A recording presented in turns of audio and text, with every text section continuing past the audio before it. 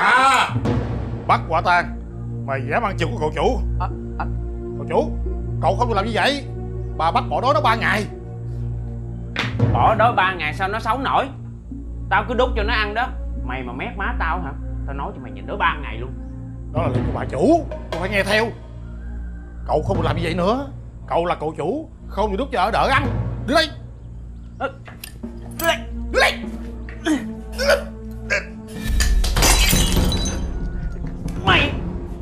cho tao.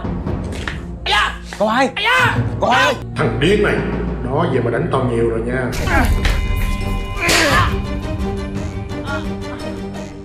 Cô hai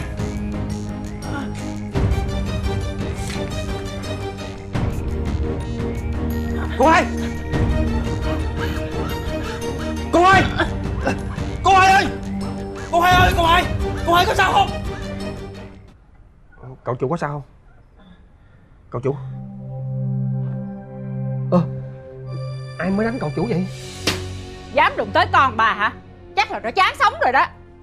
Bà ơi, chắc là có hiểu lầm gì á bà. Chứ thằng Thành á, nó có ăn gan trời á Nó cũng không có dám á, đụng tới một cọng tóc của cậu chủ đâu bà. À, dạ đó là lúc bình thường. Còn nó bị bỏ đói hai ngày nó bị mất lương tâm rồi. Không có nói nhiều. Lôi nó ra giường cho tao. Dạ